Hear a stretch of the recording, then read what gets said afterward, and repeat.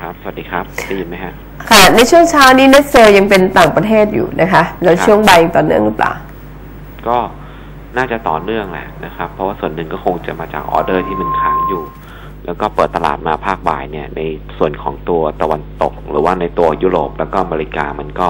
ส่วนใหญ่เนี่ยจะปิดติดลบกันไปนะครับ เปิดติดลบกันไปหมดนะครับ ก็ส่งผลมาถึง sentiment บ้านเราด้วย แต่ว่าถ้าเรามองกันเนี่ยนะครับในเรื่องของตัวการปรับลงมาของตลาดหุ้นไทยในรอบนี้ถือว่าดี นะครับดีกว่าในรอบที่ผ่านมานะครับค่อนข้างมาก แล้วก็ในเชิงของตัวดาวไซด์ของอินเด็กซ์อย่างที่เรียนนะนะครับ ว่ารอบนี้ถ้าตัวของดัชนียืนสูงกว่า 1510 ได้เนี่ยนะครับแนวโน้มหลักก็ยังคงเป็นลักษณะของการซิกแซกขึ้น ไม่ได้เปลี่ยนแปลงนะครับ ยังเป็นซิกแซกขึ้นนะคะ ครับอ๋อค่ะ แล้วหุ้นวันนี้นะคะ คุณวิกฤตหุ้นที่กดหนักตลาดก็คือ SCB นะคะแขวน XD ครับเมื่อเช้าเองนะคะ ครับ ประมาณสักเที่ยงหรือบ่ายใช่ไหมคะที่เปิดตลาด ครับ ก็ถ้าเราเห็น flow ฝรั่งที่ออกมาในรอบเนี้ยแบงก์ก็คงจะเป็น target ในการถูก take อยู่แล้วอืมนะครับเอาแบงก์ที่เอ่อขึ้นเครื่องหมาย XD ไปแล้วเนี่ยยิ่งยิ่งแล้วกันใหญ่นะครับ เพราะว่ามันสามารถที่จะถูกยืม short หุ้นได้ต่ออ๋อนะครับเหรอใช่พอขึ้น XD ไปจบแล้วมันก็ถูก short ยืมได้เลย short ใหม่ใช่อ๋อไม่น่าไม่น่าเป้าหมายของการทำ short ก็คือ SCB เป็นต้น KBank เป็นต้น ครับ เพราะว่ามัน XD ไปหมดละโอ้โห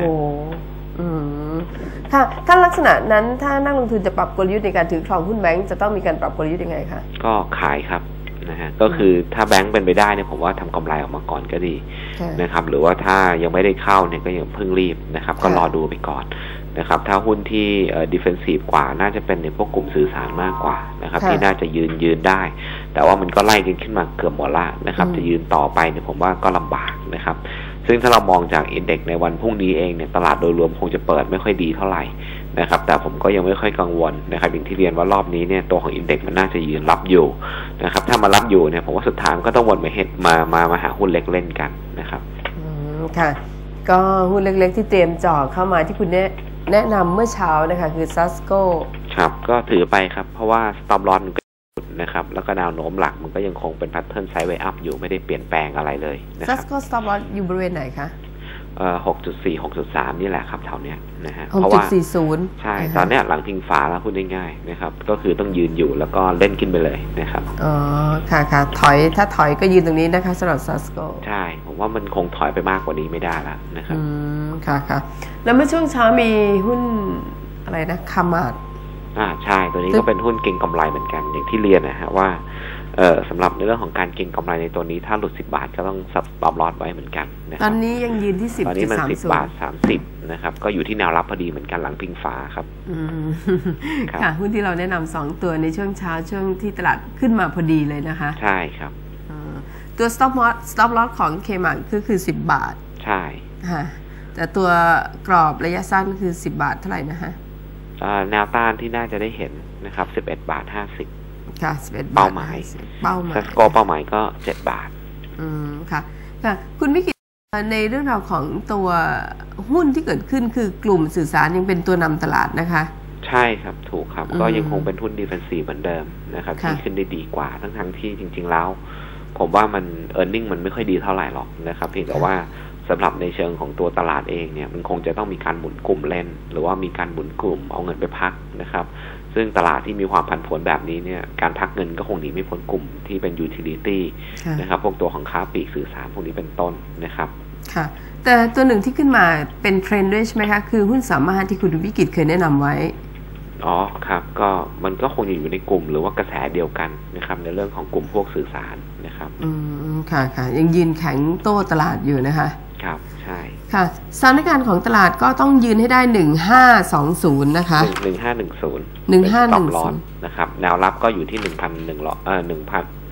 หนึ่งห้าหนึ่งศูนย์เป็นสต็อปลอสของรอบถ้าต่ำกว่านั้นนะครับ แล้วก็แนวรับอยู่ที่หนึ่งห้าหนึ่งห้าค่ะ ซึ่งวันนี้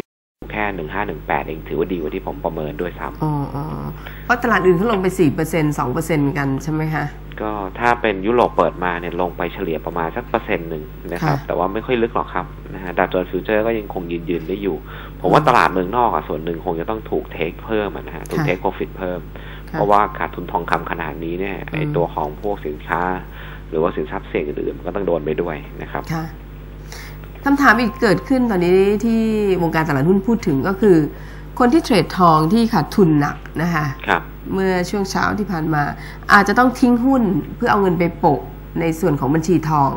ก็อาจจะมีครับในประเทศค่ะก็คงจะมีมีแบบนั้นเหมือนกันอืมนะครับผมถึงพยายามบอกนะครับว่า พวก future พวกเนี้ยนะครับ มันไม่เหมาะกับนักลงทุนในประเทศจริงค่ะๆแล้วผมก็ไม่ค่อยจะแนะนำสักเท่าไหร่นะครับไอ้อืมพวกตัวไม่ว่าจะเป็น index future หรือว่าจะเป็นทองคำ future อืมนะครับค่อนข้างที่จะผันผวนสูง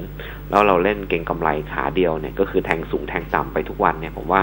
ความเสี่ยงมันสูงมากนะครับค่ะไม่แนะนำนะครับอืมแล้วที่เขาบอกว่ามันจำกัดความเสี่ยงเนี่ย หรือว่าขาดทุนแค่เอ่อ หลักเท่ากับหลักประกันหรืออะไรพวกเนี้ยนะครับ อันที่จริงแล้วเนี่ยถ้าคุณเติมเงินไปเรื่อยๆเนี่ยแล้วมาลองคำนวณดูจริงๆเนี่ยคุณขาดทุนเยอะกว่าที่คุณวางเงินเอาไว้ค่ะนะครับเพราะฉะนั้นจะบอกว่ามันเอ่อความเสี่ยงมันจำกัดเนี่ยคงจะผิด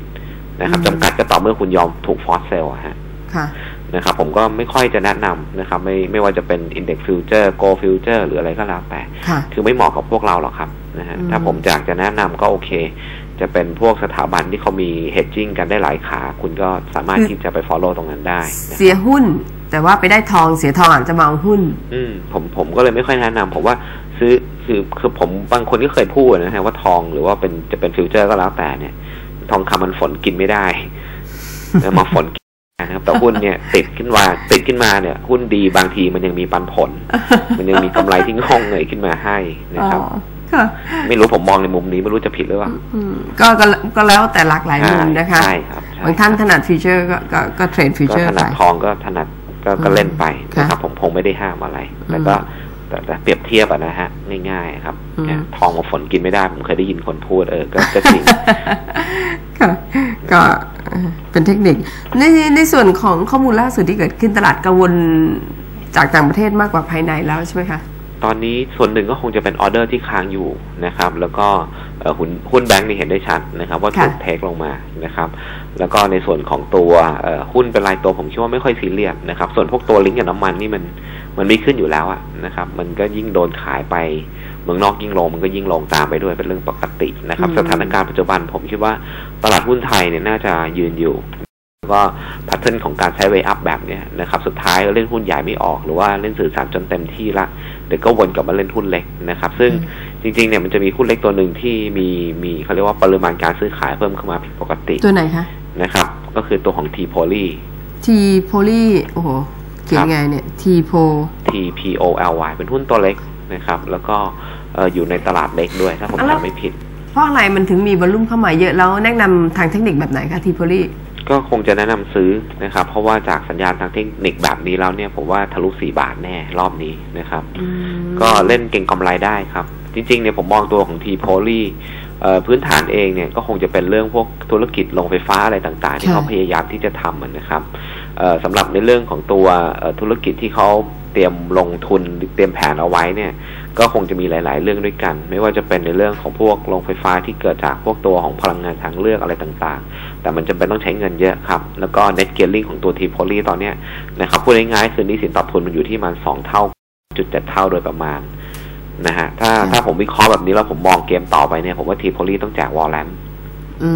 มเป็นไปได้สูง นะครับเป็นไปได้สูงเพื่อที่จะหาทางระดมทุนเพิ่มทางอ้อมนะครับทำให้ราคาหุ้นนั้นเนี่ยมีโอกาสที่จะขยับขึ้นนะครับอืมอันนี้ก็เป็นมุมมองทางค่ะทางการวิเคราะห์แล้วกันค่ะนะฮะว่าดูจากตัวของหนี้สินต่อทุนแล้วก็ดูจากโปรเจกต์แล้วเนี่ยคือเงินในภายในไม่พอแน่นะครับ อืมค่ะทีโพลีนี่ทำธุรกิจพลังงานไฟฟ้า คือมีหลายอย่างรับเหมาก่อสร้างนะครับทำในเรื่องของตัวคือจะเป็นไอ้ตัวของโปรเจกต์ชูธงอะฮะตอนนี้เป็นเป็นโปรเจกต์ที่ฮิตกันอย่างบางจากยังจะทำเลยนะครับ ในเรื่องของตัว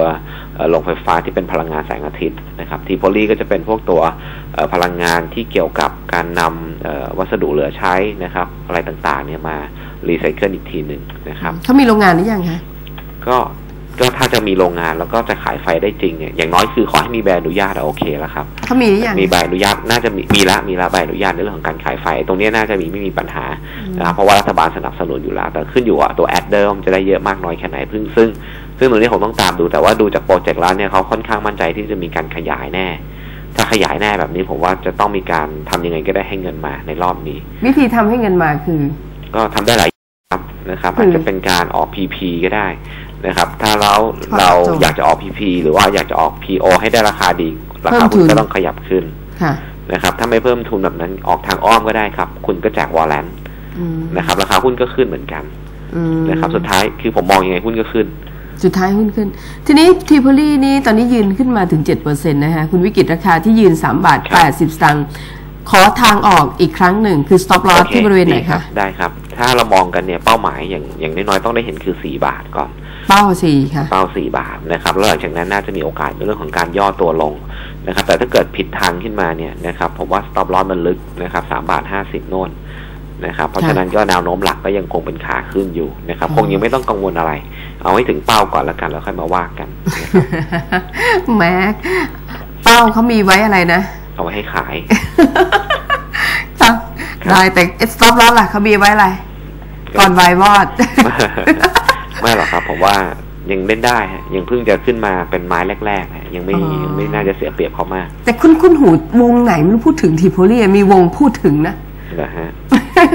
มันจะมี นี่เพิ่งมาถึงวงคุณคุณของคุณวิกฤตคือมีลักษณะของธุรกิจที่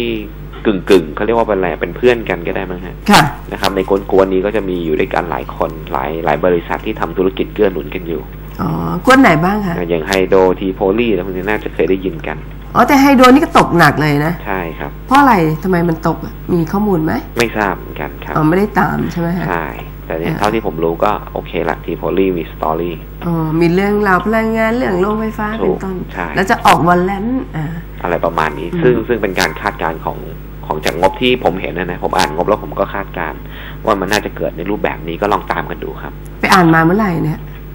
ก็ตลอดเวลา มีอะไรแซวเพราะว่าแอบแอบได้ยินเรื่องทีโพลีมานานแล้วเหรอฮะพอพอดีคุณวิกิจพูดถึงพอดี อ๋อครับ อื